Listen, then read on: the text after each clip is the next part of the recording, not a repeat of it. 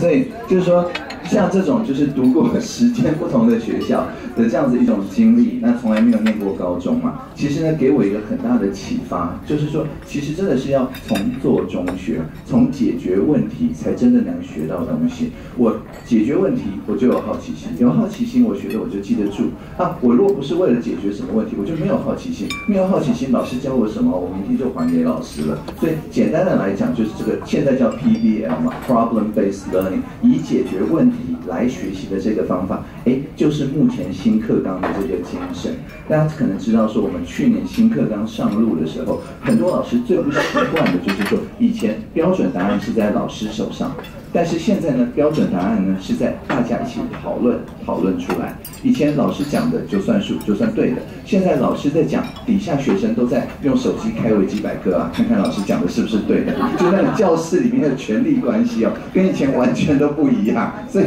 现在呢，我们就是说，那老师的就不是在你背标准答案，而是说，哎，我们一起来面对一个问题嘛。好比像说，像气候变迁，我们要怎么办？循环经济，我们要怎么办？提出一个问题，学生有这个创意，有这个。想法，然后老师是只是比他早学一点的人嘛，帮他去找一些资源哦。那这个是所谓的素养导向，素养就是从内而外的嘛，不是的考试评量从外而内的这个导向哦。那为什么这个课纲是采取这样子的一个精神呢？就是因为我们有长达十年的体制外教育的实验教育嘛。实验教育像大家可能知道蒙特梭利啊、华德福啊等等啊，很多的这些实验教育就是在试着引进各种制度，而实验也不一定成功啊，有些真的就是不适合台湾嘛。但是有一些呢，像刚刚讲到的 PBL 啊、自发互动共华，哎，真的蛮适合的。所以实验了这样十年之后，我们就在去年把它正式纳入我们国民教育的一部分。这个以后素养导向就变成任何年纪的小孩一起来解决社会问题，用这样的方式来做。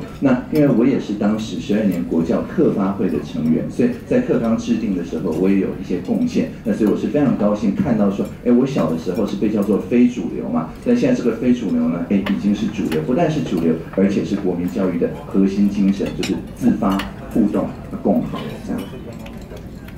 那呃有呃有一位朋友追问，因为我刚刚有这个答应说追问，我会简短的回答。我刚刚提到说，哎，在投资的时候要注意到环境，注意到社会影响，注意到治理嘛。那所以这三个的这个要一起做的话，关键点在哪里？要怎么简洁有力的执行？其实呢，最简单的概念呢就是大家应该都已经很熟悉，叫 accountability。accountability 的问题就是说它很难翻译，用中文根本不知道应该怎么翻译这个字，有人翻成当责、问责。特责责性啊，什么的都有各种各样子的翻译啊。我呢是把 accountability 翻成了交代，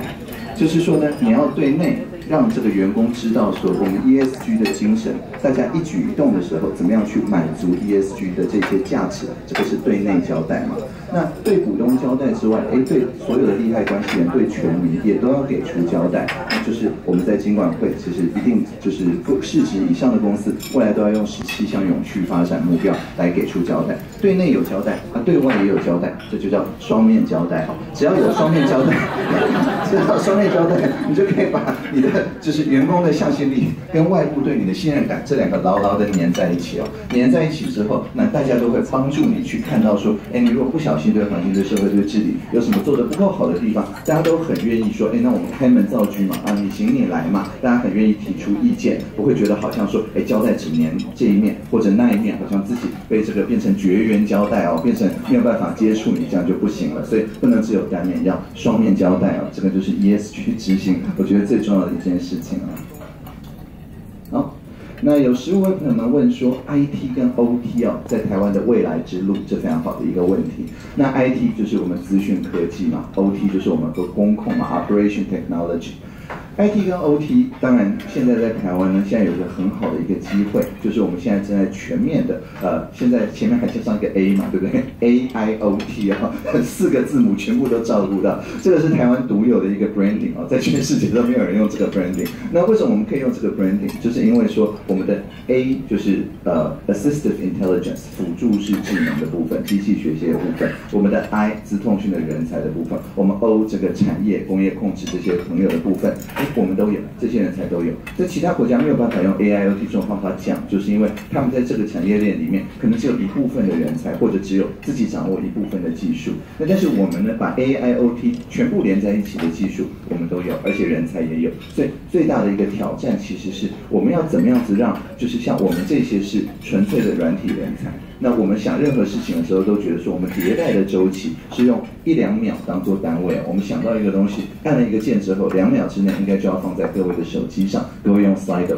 就可以看到。那 但是呢，在 Operation 这边呢，哎，他追求的是说他非常 predictable，它的良率，他绝对不可以出任何错误。所以像我们的口罩国家队就是这样子一个很好的一个结合。就是我这边呢是公卖局了，是行销的部分嘛，对不对？是确保电商嘛，大家透过电商可以买。透透过 over the counter 可以买，透过便利商店可以买。那我做的是软体的部分。可是同样的，就是沈荣金副院长呢是部长所带领的这个机器的这个部分。那他们把那样的蓝图哦，用制造精密机械的那样子一个技术，而且是那个技术快速的扩散出去，让大家都可以仿仿照去使用。这个是变成我们外销，不是外销 made in Taiwan 的口罩而已，是怎么样做这样一贯长的来。它也能够照顾得到，所以这两个部分要怎么样子衔接在一起？怎么样一个共同的语言去做 digital transformation？这个就变得非常的重要。所以各位如果有看到最近在电视上面哦，就是呃科技汇报办公室请中小企业处把我打扮成一只猫咪哦，戴上猫咪的耳朵哦，变成一个机器猫小叮当哦，或者现在年轻人把它叫哆啦 A 梦啊，我那个时候还叫小叮当哦，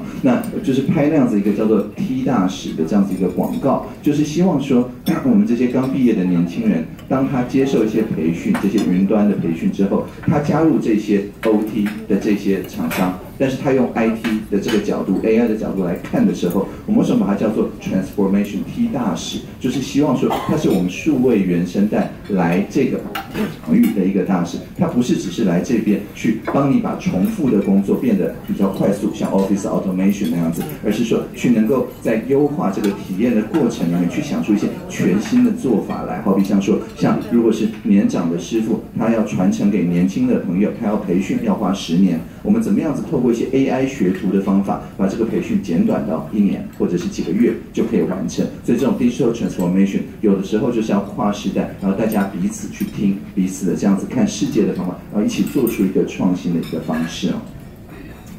那有时位朋友们问说，哎，微软来台增加投资哦，会对台湾的产业有什么影响哦？确实这是一个很好的一个问题，因为我们从以前的想法里面哦，微软是把台湾当做一个市场。它比较不是把台湾当做一个研发基地、研发的重镇。那但是呢，现在的情况不一样啊，因为现在是一个云时代啊。那微软它的 Azure 的这个云呢，就好像 Amazon AWS 啊，或者是 Google 啊等等，它每一个地方只要它在这个地方一落地，其实它完全没有在哪里研发的这个问题。就是我们在这边研发出来的这些人工智慧啊，这些工业控制啊，工业四点零等等的这些做法，哎，只要一部署到这边，它全世界别的 Azure data center 也等于同时都使用了一样的呃这样子的技术。所以从他们的角度来看，哎，我们这边在 AI 上面的突破，就不用千里迢迢想办法把人挖角到西雅图哦，挖角到西雅图，现在也还是关在家里嘛。所以不如就是在台湾，那就是哦，反正这个在台湾现在疫情是完全非常稳定啊，得到控制等等，所以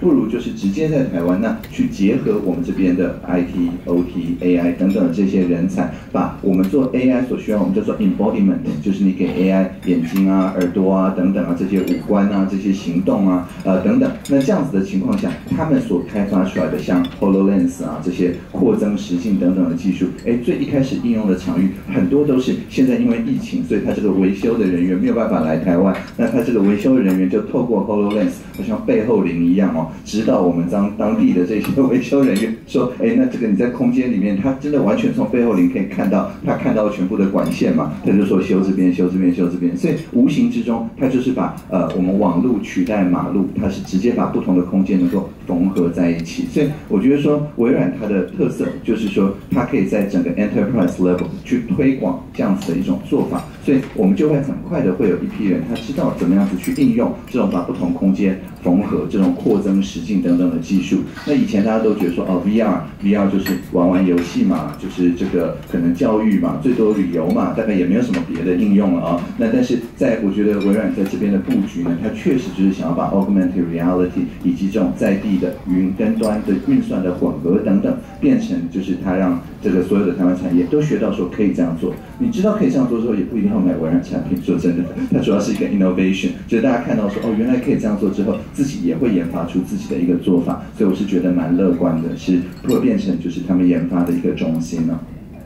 那这个就是接下来就是到下一个问题，就对于五 G 的应用有怎么样的期待？呃，我已经用五 G 用了好几个月了，我有两个手机啊，都是五 G 手机。那而且呢，现在真的是有一种我不管到哪里都有光纤呢的感觉。以前都是说你要在室内，那跟人视讯的时候才真的达得到见面三分情嘛。我们见面三分情，就是因为我讲一句话，我看到大家在点头，我知道大家在点这句话的头。我如果是用四 G 跟你视讯的话，我不知道你点头是上一句话还是这一句话，因为中间有点延迟嘛，对不对？而且这个中间一延迟，我。我就不知道你点头的时候，就是说，我觉得我在看你的眼睛，但是呢，从他的角度来看，他还在上一秒钟，他觉得他我在看他的脖子哦，因为那个就是 camera 的位置会偏移哈，所以就是说有视讯经验的人可能都知道，要双方觉得在同一个空间，真的只有两边都在有光纤接以太网路线，或者是就是很稳定的 WiFi 啦，就是呃八就是八零二点一 AC 那种程度的 WiFi，这样的情况下才能够共同在上。但是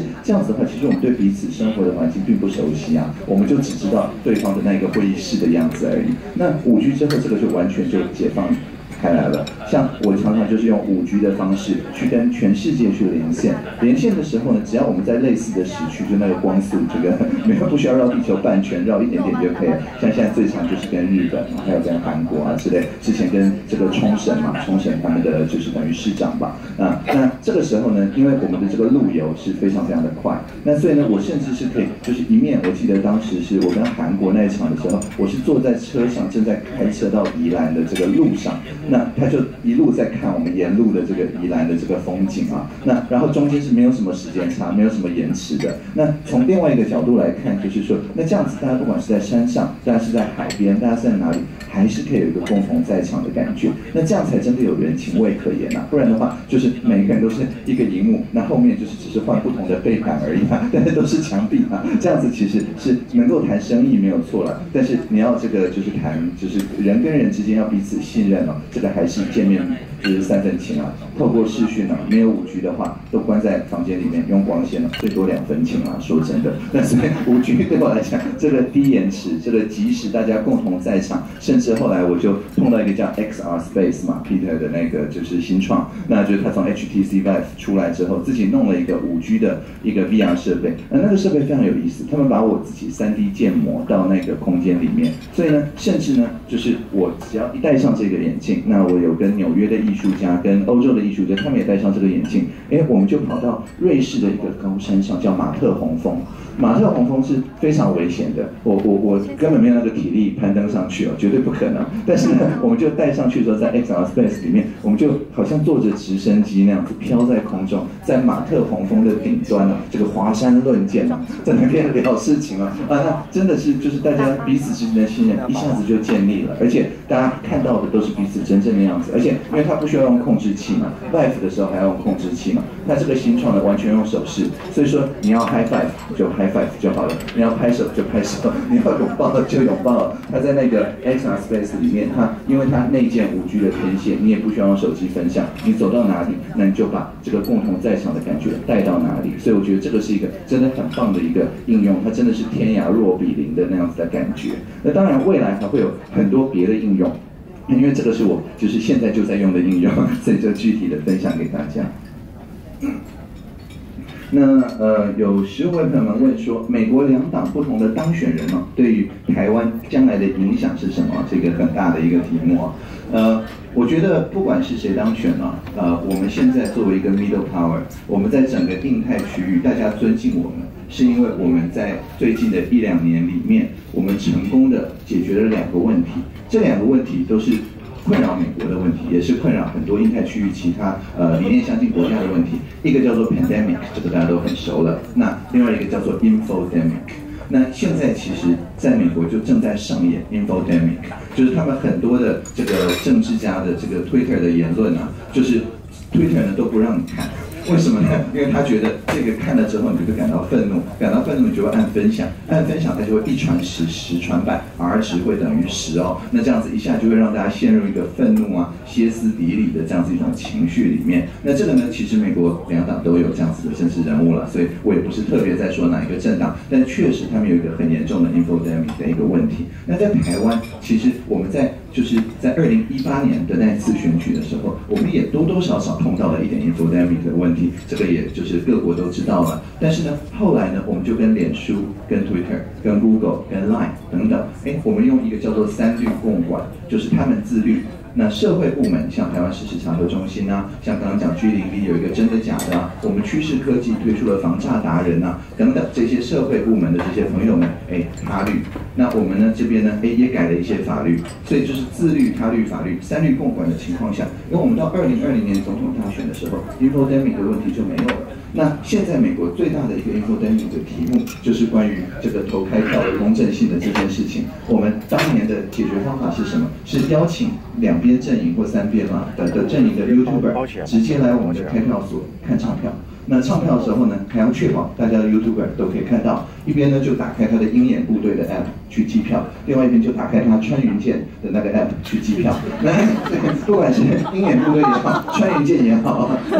就是及时的去回报嘛。那全部都有录影嘛。说真的，根本不可能伪造，根本不可能做票。所以虽然在当时也有一些谣言，那些谣言甚至还是从境外传来的，说什么 CIA 用的隐形墨水，你不管盖给谁都是盖给小英哦。这种谣言呢，但是因为我们是非常开放透明。所以呢，我们这个谣言就不攻自破。所以其实是我们是靠比这个谣言传播的更快。更透明来解决谣言的问题。同样的道理，我们指挥官当时每天下午两点开记者会，那所有人把他问问题问到饱，那他回答不出来的，他说他去研究，隔天一定就回答。像这样子的一个做法，哎，同样的也是靠公开透明来解决这个防疫的问题。所以，我们作为一个 middle power，我们在这个区域大家敬重我们，美国的两大党敬重我们，他们的就是推广区域民主的，不管是民主党的 NDI，共和党的 IRI，现在都在台湾设立了他们亚太的。总部，那甚至是连德国的这个 British Norman Foundation 啊，也在台湾设立了他们的总部，更不要说本来就来台湾的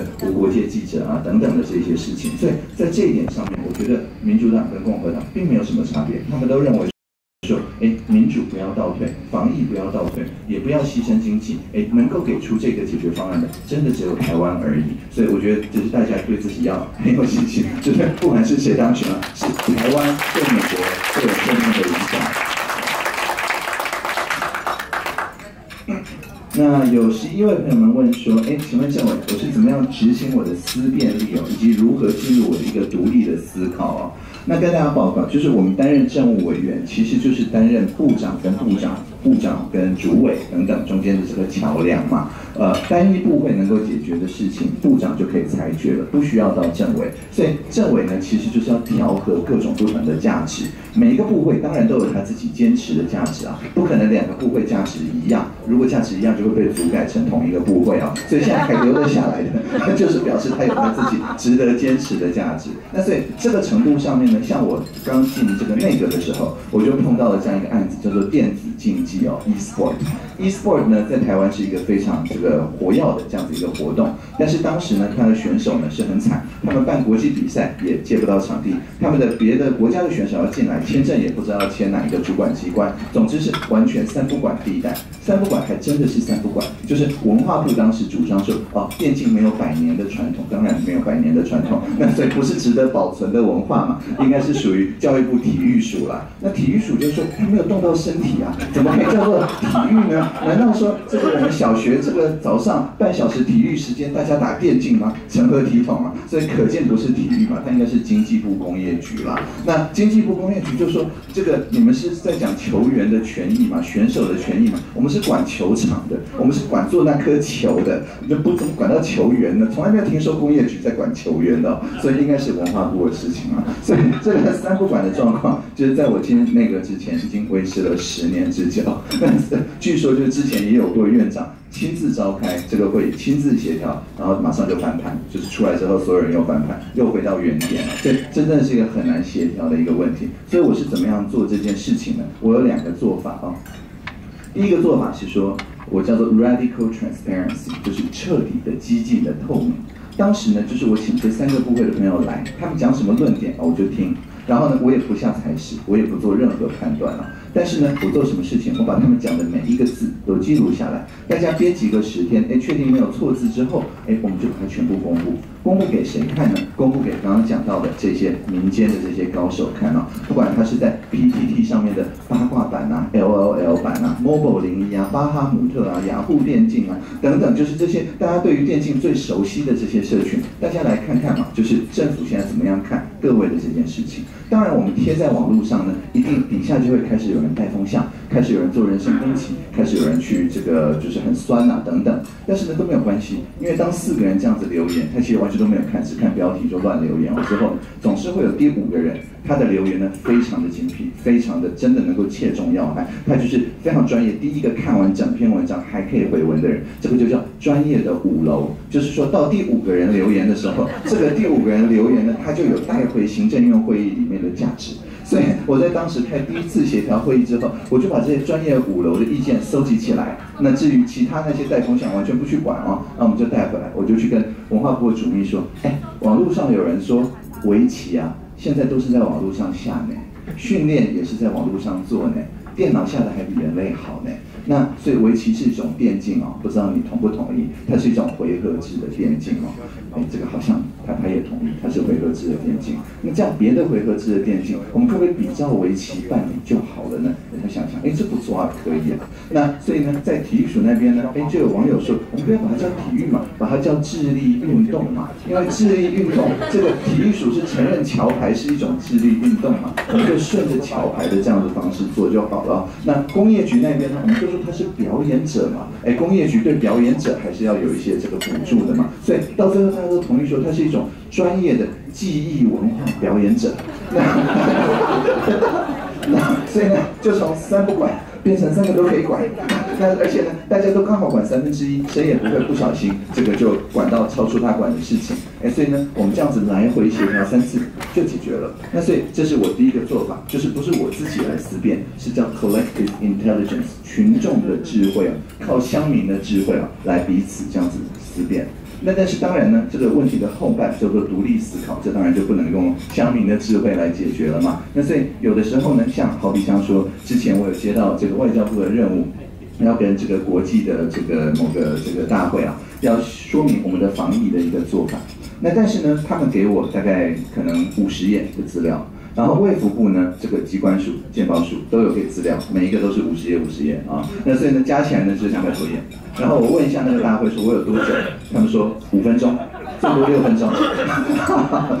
所以这个我我就就是说，我要从哪一个角度来讲这件事情，其实是很困难的。那这个就不能问乡民了，乡民也不会给我什么好答案了。所以我的做法是什么？我就是在睡前去把所有这些加起来可能两百多页的资料全部都看完。看的时候呢，脑里不发出声音，就是完全像扫描机一样，只有视觉印象，我完全不去，就是呃，就是看它的语义，semantic 完全不管，我只是就是把它，好像大家用过传真机嘛，全部扫描完之后，它就在那边拨号，等等等等，你那个纸就可以拿走了，所以先批次扫描进这个短期记忆里面，然后呢，我就去睡觉，然后呢，睡当天睡了可能八个多小时啊，八个多小时，然后一醒来之后，哎，脑里就冒出来，哦，fast，fair，fun。啊，就是这个快速啊，公平。有趣，那就用这三个方式，每个各两分钟就可以把台湾模式解释得很清楚。那后来可能各位也有看过 Fast Fair Fun 的那一份简报，Digital Social Innovation 那一份简报。那所以呢，简单来讲就是我完全可能要有人按下那个电脑的空白键嘛，不然他就去睡觉了。那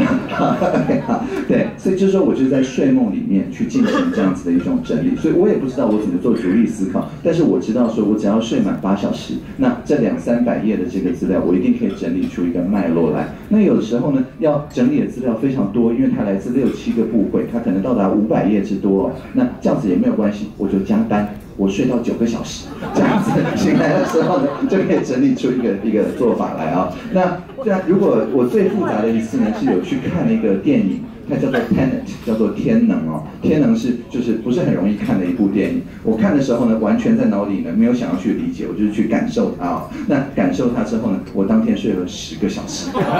醒来之后，哎，完全都看懂了，这整个所有的剧情都很了解。所以简单来讲，就是独立思考，我是在睡梦里面完成的。你问我怎么样子进入呢？我闭上眼睛就进入了。那。有七位朋友们问说，哎，请问这个中国在大数据应用，在管控中国人民的生活，是不是变本加哦，变本加厉哦？确实，就是它是变本加厉。呃，我们刚刚我讲到 AI 的时候，我说我们辅助我们的工业啊，我们的服务业叫做 assistive intelligence 嘛，辅助智能。辅助智能其实就跟我戴个眼镜，或者是呃有些长辈朋友戴个助听器一样，它应该是以就是这个人的人性尊严，以这个人的最佳利益来行动嘛，这叫 alignment，就是以这个个人对他最好的方式来行动。那这样子我们才会觉得他是辅助我们嘛，而且他同样的也要对我们对社会给出交代，也是要双面交代。但是呢。呃，在这个中共那边呢，就完全不是这样。他们是发明了一个词哦，叫做社会信用。那我我对这个词被他们这样子挪用，其实是不是很高兴？因为在我们这边，社会信用的意思是说，人跟人之间互相的信用，跟政府是一点关系都没有的。我们开启一个呃，就是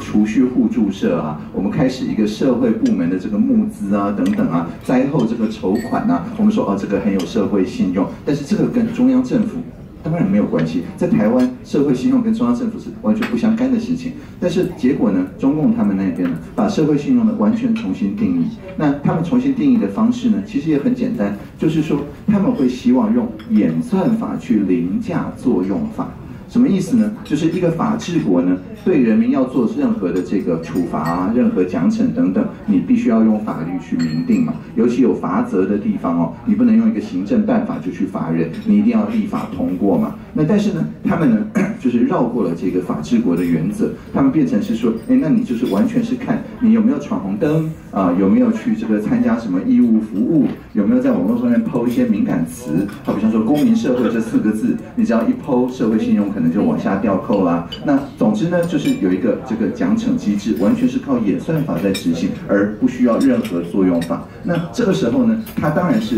理论上是说，哦，你的社会信用累积的比较高，那这样子呢，你就可以去呃这个自动升等到商务舱啊，或者是说你在申请什么户籍学籍的时候，可以排队插队在前面啊，等等，有些胡萝卜了。但是主要都是棒子啊，棒子是什么呢？哎，就是 naming and shaming 哦，他会把这些社会信用记录。不良的人，哎，名字公布出来，然后呢，让他的亲戚朋友长辈给他这个压力，那而且呢，也不让他去做商务舱了，那当然机票更是不能订了，等等。那所以他们中央政府有了这样一套系统之后，哎，很多省级的政府变本加厉，就是开始去用 AI，但是他们的 AI 就叫 authoritarian intelligence，这个威权的 intelligence，威权智能哦，这个威权智能呢，他们省级政府有时候做的太过分，好像在江苏啊什么，就是会被抵制了，就是人民。还是就是不是很想这个配合，但是有的时候呢，这个在好比像说新疆啦，就算人民不配合，那他们就是用高压威权的方式让他们配合嘛。那这个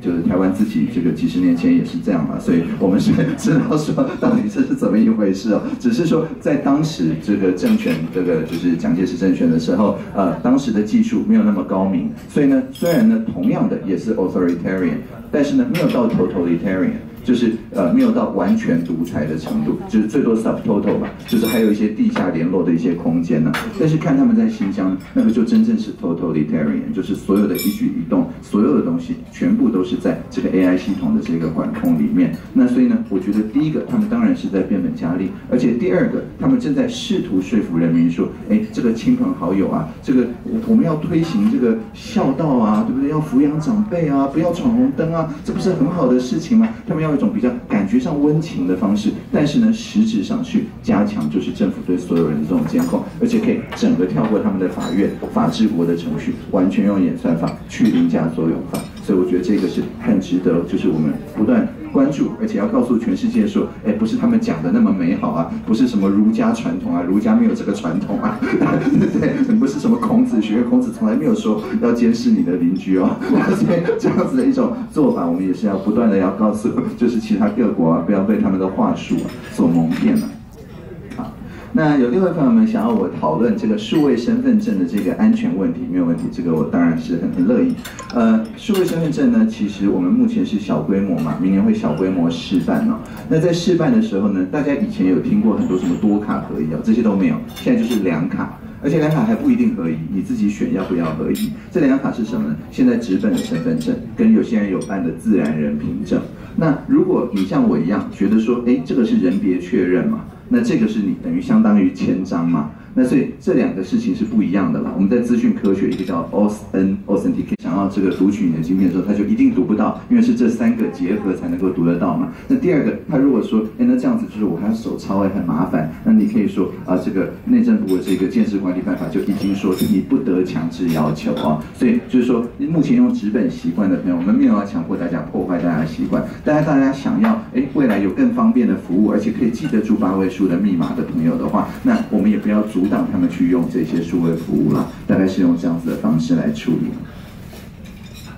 那有第二位朋友们问说，哎，那请问在东南亚以及东北亚的这个地区哦，台湾目前在资讯科技的领域上面，是不是有领先的趋势哦，或者是有一个落后的趋势哦？我想我们这个看全世界的评比，不管 WEF 的评比也好啊，或者是就是那个就是我们台湾是超级创新国嘛，已经连续两年的那个评比，或者数位整备度的评比啊等等的这些评比，呃，我们在这个区域都是。绝对是领先的这个位置哦，以全世界来讲，也是以创新来讲，当然是前四名了。那然后以这个数位发展、资讯科技来讲，也是大概前十名上下哦。所以无论如何都是在前列的这个位置了，是大家跟我们学习怎么数位转型。但是呢，当然我们不能以此而自满，因为我们的传统是这样子的，就是说我们每一个在开发这个健康的、学习的、通讯的、交通的等等的这些事情的时候。在台湾，这些是政府的职责嘛？政府一定要做到最好。那但是呢，现在因为大家都是用手机嘛，就像我刚刚讲，老师在台上讲，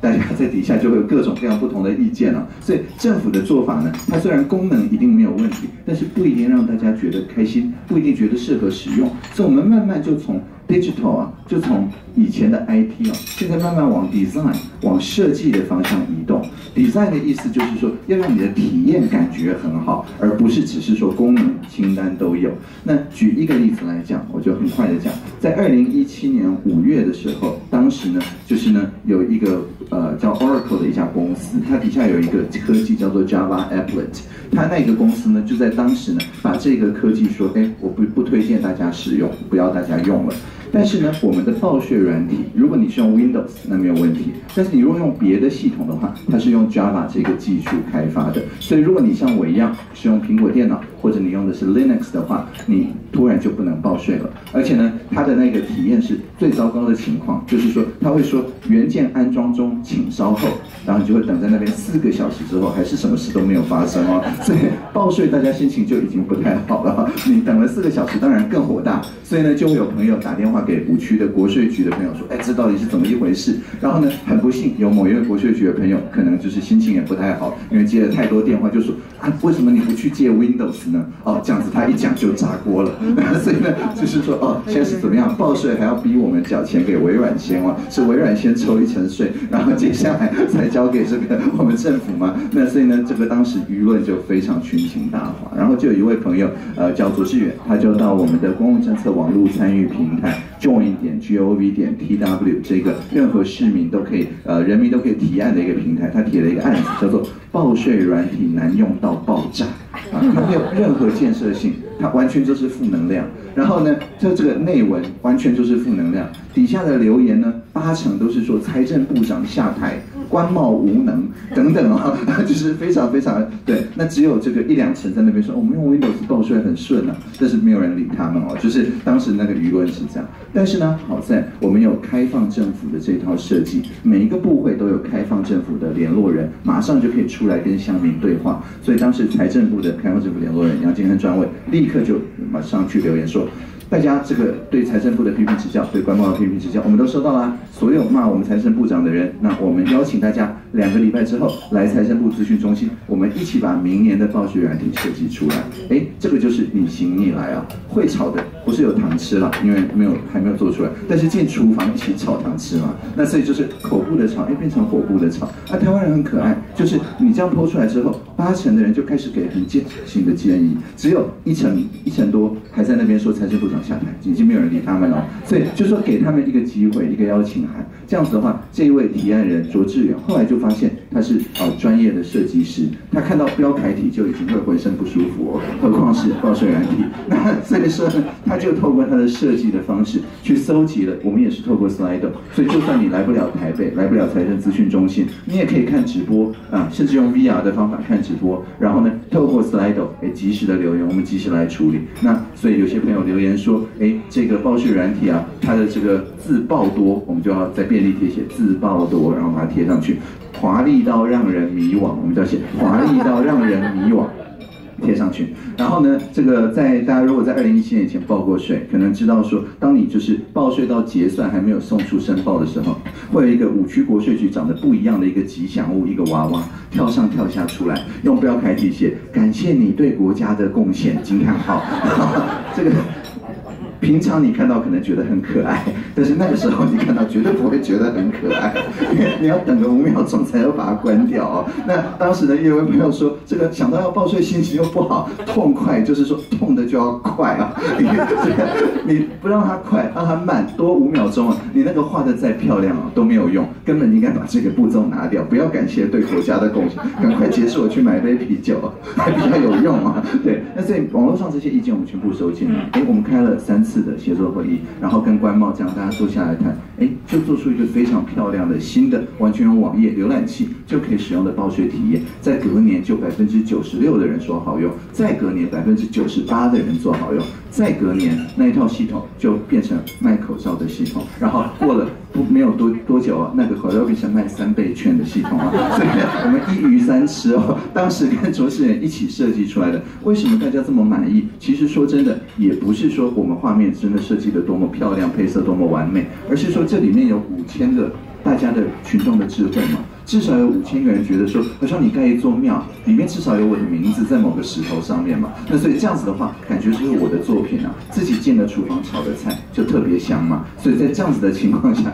那我们这个领先就不是只是在资讯科技里面属于自然科学跟工业技术的部分，这个我们本来就领先了，而且我们在社会科学跟社会组织的技术，也就是民主的这一部分，我们也领先。所以就好像是我们的这个农业科技。啊，我们的医疗科技啊，现在不是都有很多员外、国合会啊等等的这些组织吗？我们现在刚刚的那一套开放政府数位治理，也变成我们援助其他国家的一个很棒的，等于是继医疗跟农业之后第三个我们可以输出的东西。这里面一梦帮了大忙，所以非常非常感谢一梦，谢谢。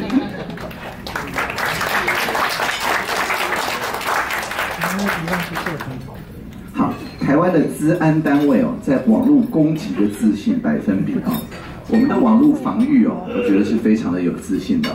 我们的网络攻击哦，就是所谓主动式防守的那个部分哦，那就是理论上主动式防守是可以做到很很夸张的程度，像以色列就是主动式防守在在治安上的一个翘楚哦，就是他们 attribution 做得很好，他们觉得说，哎，他们的工业系统被哪一个骇客入侵，他可以证明给全世界看那个骇客的地方之后，可以还他一发飞弹哦，那这个是是主动式防御的一个极致哦，对，那像这样子的事情呢？我完全不知道。这个是资通电军的事情，因为我在行政院里面呢，我们处理的部分呢是民生的这个部分哦。那尤其是因为我主持开放政府，所以我看到的东西理论上大家都可以知道。所以只要上面呢有盖国家机密，有盖最高机密，这些事情呢，那是在国安会以及自通电军那边来处理，那个我就完全一无所知。那所以呢，我是不会收到从就是攻击的那一部分来的这个密件哦的这个自通电军，嗯，有。了，可以吃的那种蜜饯有了，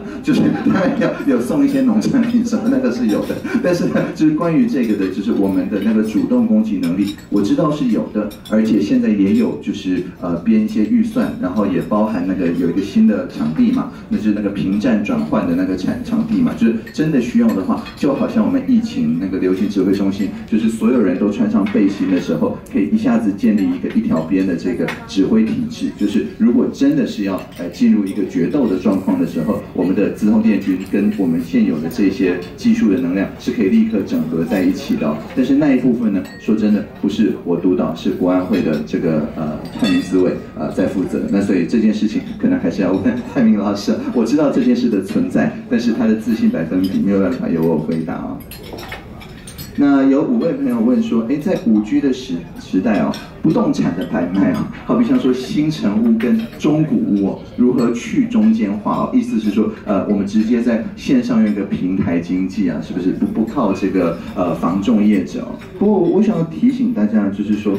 不一定，我们的网络技术都是去中间化。很多的网络技术，它是靠，好比像说，像群众在 Amazon 上面评五颗星啊，在 Netflix 上面，这个他推荐你看什么别的影片啊等等，那个平台本身也是一个中间人的角色。就算是最分散式的平台，好比像说比特币或者是以太坊，那在以太坊上面呢，你如果要建立一个治理架构，哎，用平方投票法等等新的投票的这个方式，那个投票的机制就像民主体制。是一样，他还是担任一个就是重分配的角色，也就是说，他还是一个中间人，只是这个中间人是一个演算法，它运行在大家的电脑里里面哦。所以，我想这里面就是去中间化这个概念要分成两个作用来谈，一个是说你降低它的进入门槛，任何人都可以进来当中介人，那这个是呃我们资讯技术可以帮忙的。但是你要完全跳过中间人，那变成是所有人都信任所有人那种大同世界哦，这个不是资讯技术可以做得到的事情。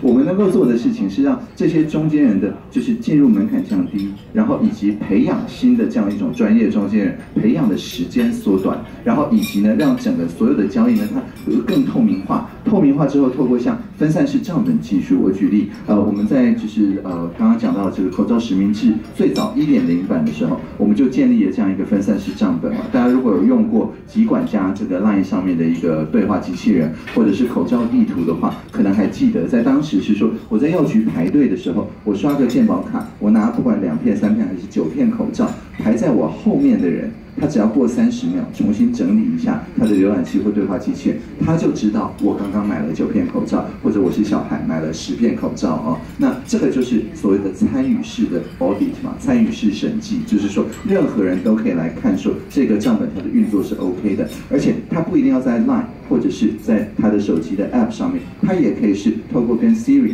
跟 Google Assistant 透过对话机器人。他如果是呃就是盲人的话，可以用全语音的方式；他如果是外国人的。话可以用英文的界面，我们有超过一百四十个不同的账本，不同的开发者用同样的一个 API 来让大家可以在一面排队的时候，一面确保说药师是非常竭心尽力的在帮助大家哦，绝对没有什么呃囤积啊、暗杠啊什么什么的这些事情，这个才是真真正的目的，就是要让大家心里那个焦虑感能够减到最低哦。那大家都知道说，哎，我们口罩国家队生产的速度它是这样子提升嘛，但大家愿意等，为什么？因为知道。不管你在哪一层，大家的分配都是非常非常公平的，所以还是有中间人啊，在这里面邮差、药师，后来超商的店员也都还是中间人。但是至少我们对于中间人的信任的程度，以这个即使每个人都可以查核的程度，这个部分都是可以增加的。那这个在不动产买卖上面也是一样的，在五 G 的时代，你的这个择信的这个过程，给出交代的过程，是可以完全好像身临其境一样，就像刚刚讲到这个混合实境的这个情况，大概是这样子。好，那我们是剩最后一分钟啊，那所以我们就嗯，这个题目比较长，我就快快问快答。这位你好，想请问目前全球快速变化以及去数字化的时代，台湾传统中小企业要如何应对生存？因为大部分传统企业都没有具备社群媒体以及数位人才能力，应征相关人才也非常不容易，人才大部分都被大型企业所能够进行吸收。可行的解决方案，谢谢啊。好，对，那这是我平常讲话的速度，所以以后才让我听到。